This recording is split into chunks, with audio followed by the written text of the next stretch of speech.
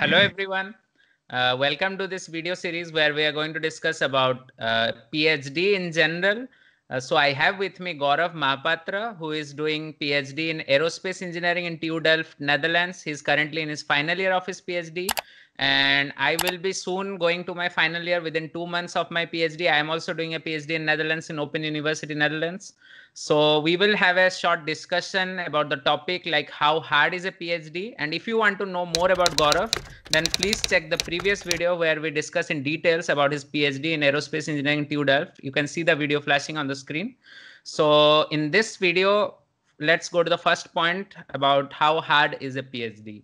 I know it's a very broad topic. We'll try to keep it short, restricted to few points that we have noted down.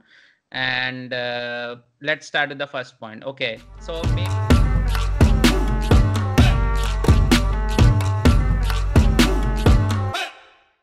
Okay, so maybe it will be like something Gaurav is going to speak, and then if I find something different or any new experience, I will add to it. Otherwise, I will proceed with the next uh, topic instead of making it too uh, boring or elaborate. So yeah, so the first point is what was your bent of mind that made you choose a PhD? Was it completely driven by your keen research interests or the circumstances surrounding you or it was something else? Uh, hi, Sambit. Nice to talk to you again. Uh, so yeah, um, I think it is the first point that you raised. That is, I had keen research interest. That is, uh, uh, I really was driven by the idea that okay, uh, uh I want to learn more about this uh, topic. I want to be an expert in this topic. So, I guess that was the primary dri- driving factor. And um, uh, so, I have already talked about what I do in my PhD in the previous video, but so what was very exciting about this topic to me was it was really uh, the field was new. Uh, the research that was happening uh, had a lot of scope because uh, uh, atmospheric sciences planetary sciences is actually uh, starting to pick up a lot because of the whole global warming and um, the whole pollution issue. So there's a lot of research happening in this domain and uh, I specifically wanted to uh, get to learn more on the uh, uh exoplanetary side, that is more astrophysics, that is uh, uh, exploring new worlds. So that's that was a dream, and yeah, that's what kept me interested in this. Maybe you want to add your take. yeah. So yeah i mean for me i i had an interest i had a desire to do phd when i started my master thesis in the second year of my masters here but yeah. uh, still i was not sure because i had in my mind like if i don't get an internal phd and if i apply via different portals the opening openings that i see yeah. uh, i was not sure like how is the competition in my mind it was like maybe it will be too competitive and uh, maybe i might not get a phd immediately after finishing masters which was somehow uh, hitting me a lot because the the finance side of doing a masters in netherlands is very expensive. So that's why you want to somehow be engaged in some areas so that's why i would say like i had a research interest in the topic that i'm working now also which is broadly called learning analytics. I right. won't go into the details. Uh, i have mentioned about that in many of the videos. I will show i will tag it here. So uh, it was one point and also it was mm-hmm. partially contribution of the circumstances like uh, as i said like masters was very expensive. So i had in mind i need to somehow be engaged somewhere. So that's why apart from this i was also looking at backup uh, jobs uh, even though i was more driven to phd but still i had in mind like even if it is a short one year or six months or something i find in a startup or something i can develop some of my skills if i don't manage to get a phd immediately. So yeah so i had interest to do phd but it was not a pressing uh, desire initially. But still luckily till now what i feel is that my research interest what i did in my master thesis uh, matched quite very much to what I'm doing now. So that is a kind of a boon uh, in itself. Yeah, yeah, I can totally understand because you are from a computer science background, and uh, there's a lot of opportunities uh, for computer science graduates uh, in other fields. But for me, it was just a very narrow research path. Uh, so PhD is kind of a natural uh, step to take, and I basically followed with that. Yeah. yeah. So in the initial years of the PhD here, did you feel that you needed more guidance from your supervision team? Uh, if yes, why? Or if no, then why not? Uh, so uh, yes, uh, I needed a lot of guidance actually because uh, in my field it is very uh, domain oriented. Unless someone really knows the ins and outs of the topic that you're going to work with, it will be very difficult for you to just get that from books um, so the the discussion was the most important aspect for me. That is to understand how the whole uh, uh, so my field deals with a lot of uh, numerical modeling of uh, physical aspects. That is how atmospheres react to uh, uh, different wavelengths of light and how clouds and um, other atmospheric phenomena affect them. And to really understand this it was very important to have a discussion. So initially i would go with a lot of questions. And uh, thankfully my supervisor was always uh, happy to help me with it. Uh, but as time went i, I started uh, once i had built a good fundamental basic and i could just uh, work on my own yeah. Maybe you want to give your take on it. Yeah uh, so so i again this is very uh, subjective but still uh, my experience was like in my first year especially um, you have a daily supervisor and you also have the professors who are like promoters in your phd yeah. and uh, depending on how the load is divided sometimes you have meeting with all of them or some of them but in my case uh, I felt like initially for the first six months they gave a lot of freedom. Uh, so before going to that, I will tell you one thing. Like most of the cases, you already have a predefined proposal or a topic when you start a PhD, but in not in all cases you have that. So in my case, yeah. there was not a fixed proposal. There was a broad area where I can work, but I had a lot of freedom to decide my own uh, topic that I want to work with based on that huge scope which I had. So right. that's why that six month period there was a lot of freedom. They gave a lot of freedom. So that that is the reason why uh, I felt like the the supervision or the guidance or the time that they can give to me, I felt like they should have given more time. I did not get that, but in a way i understand that it is good after i could not understand that at the beginning but at afterwards i understood like it was more like uh, uh, whatever i've seen during my masters like they just wanted you to have uh, more hold on that. And then when you come up with something like for example suppose you you frame a one pager or a two pager and then they are very open to have discussions but yeah. unless you reach that point they leave you very open and they don't want to have something discussed before you have something ready or you have such, some curiosity or questions or some content yeah. from your side so yeah. so in a way that is good like to develop yourself and also one advantage i would say like because i had my master thesis here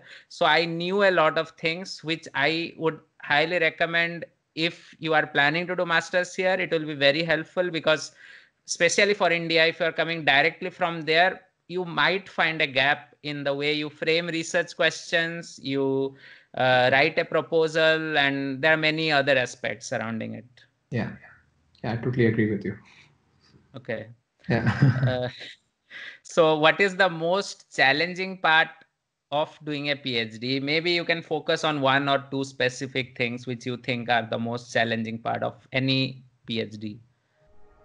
Yeah, so I think you already touched on that right now with the previous point a little bit. That is the freedom to uh, come up with something uh, of your own.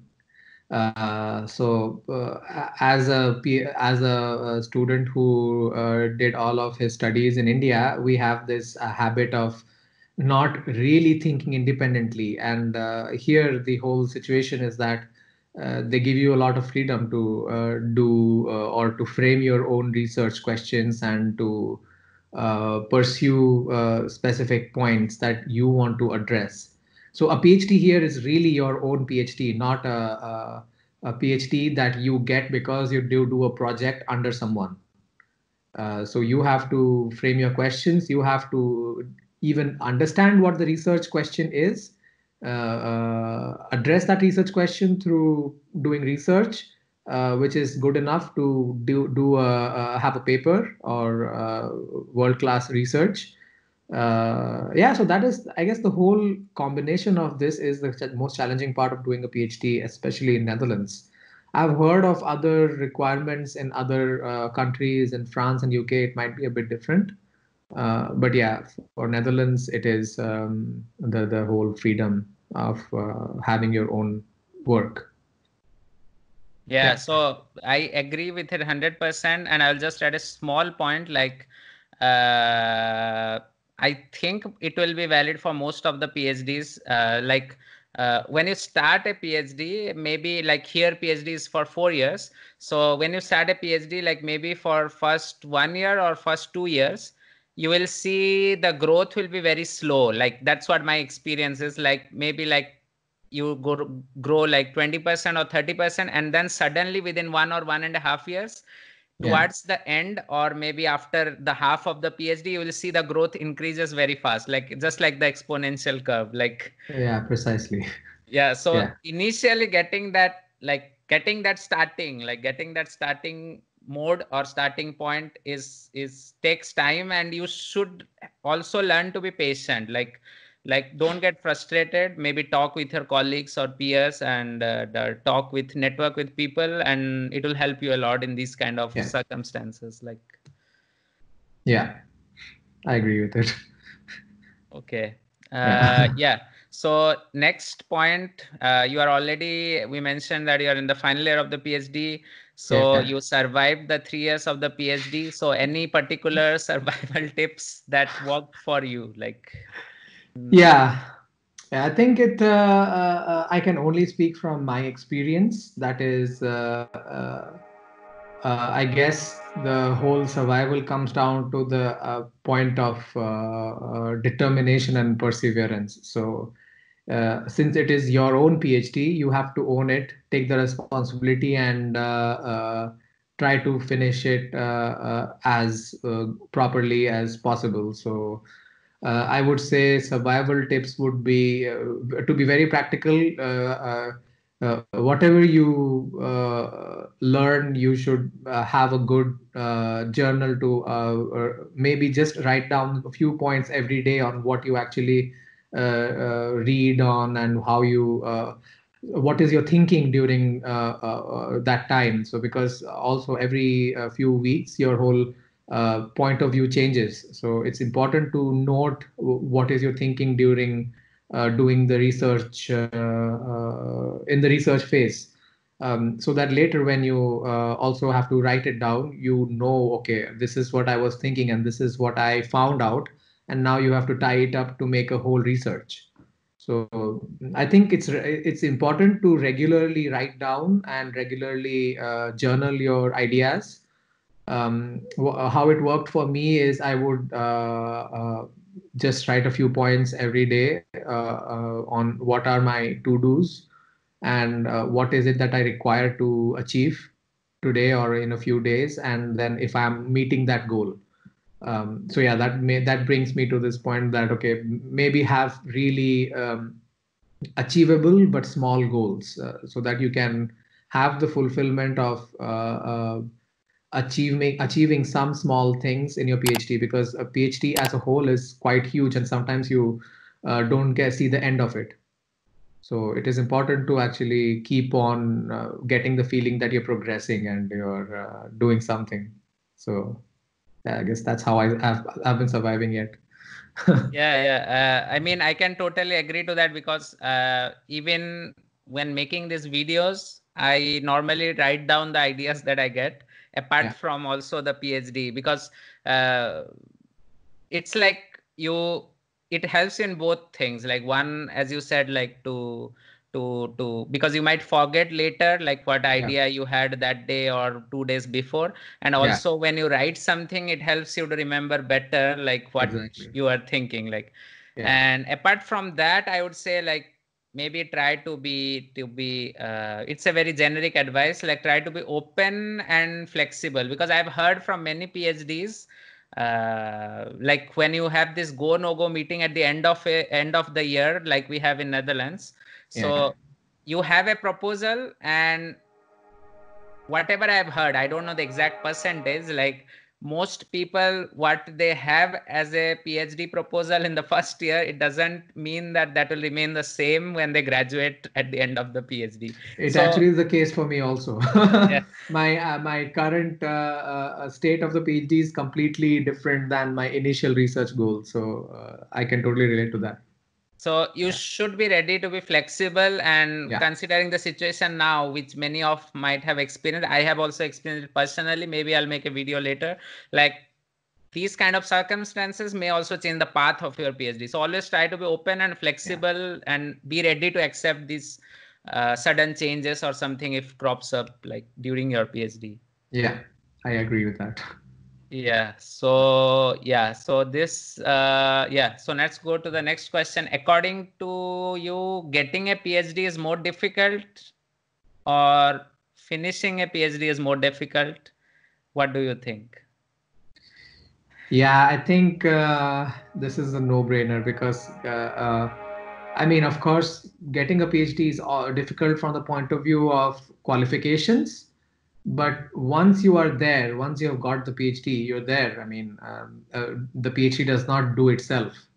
You have to really put a lot of effort to finish the phd so i think uh, uh, the finishing part is the most uh, uh, difficult and important part because uh, also i was reading the other day that um, even at TU Delft, the amount of dropouts from a PhD is around 40%. So 40% of all PhDs drop out somewhere during the four years. So that says that getting the PhD does not mean you will uh, finish the PhD.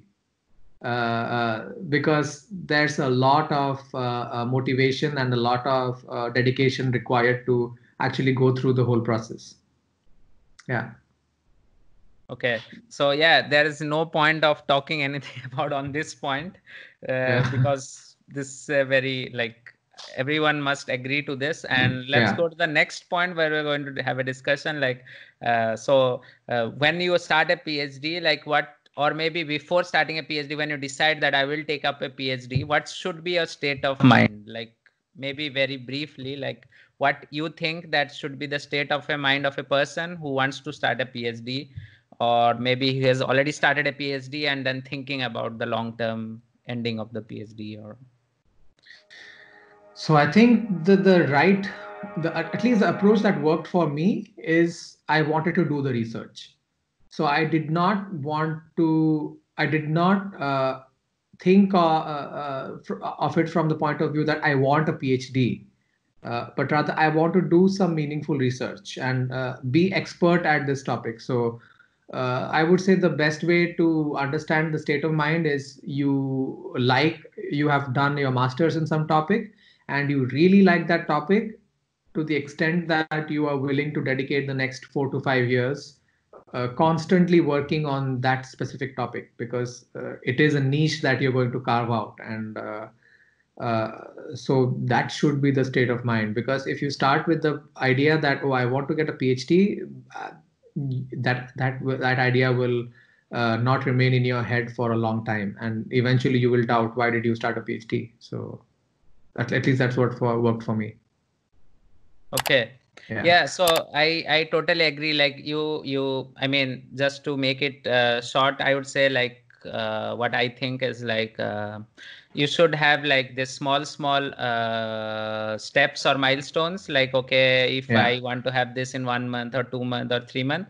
and i would say like uh, even because most of what you are doing is measured by by uh, your success in a certain experiment or maybe some good com- com- comments from a supervision team like okay that uh, uh, the the research was uh, i would say like uh, I don't know how to frame it. Like, okay, the the way you approached this experiment, it was very interesting, or maybe you get some praise from your peers or your supervision team. So these are like all these external validation that helps you to motivate you. But I would say don't rely on them completely. So you can form this reward mechanism yourself also. Like for example if you think okay i will write five pages uh, within a month and i'll have this even though i don't submit somewhere but if you keep on making that progress and have that in your mind and uh, make yourself happy with what you wanted to achieve and you have got irrespective of your external circumstance because personally my experience like uh, i had a literature review which is not accepted yet and i have got already six rejections for that literature review. So that doesn't wow. mean that it is really bad but it's just sometimes there are many circumstances. Sometimes it may be because it's not a fit uh, or maybe it partially fits to the theme of the special issue or the conference you are applying for. Sometimes some reviewers might be you might get bad reviewers. It happens a lot or maybe sometimes uh, it might be incomplete but depending on how you and your supervisor see it maybe it is complete but for some reason it is still incomplete and yeah. uh, so so the thing i wanted to say is that like even if it takes two or three years uh, as you said before like be persistent and don't get bogged down by this small small uh, because it may so happen that someone might get one or two rejections uh, in the whole phd and someone might yeah. get 10 rejection but that doesn't mean that your research is not good or something. So you cannot weigh these things like good or bad. It's not that binary. So no. try to have an open uh, and try to reward your own self based on your own milestones instead of being yeah. bothered by these societal or any kind of like yeah yeah, what really helped me with this is that um, there is something objective about uh, this. Is uh, I mean, you can get rejection on the basis of what you've written, but if your output is original and if you know that it is contributing to uh, the the field or society in some way, then you know that the research is right, but uh, only how you present it has to be changed. Uh, I think most of the times that is the case. I mean, if your research is not going in the right direction, I think you will definitely get a, a feedback from your supervision team. So uh, that's there. So in my case, I uh, if I get a, a, validation that okay, I am progressing in the right step, uh, rejections, as you said, we have to accept it. so yeah. Yeah, I totally agree. Uh, yeah. So did you feel any mental or social pressure while doing a phd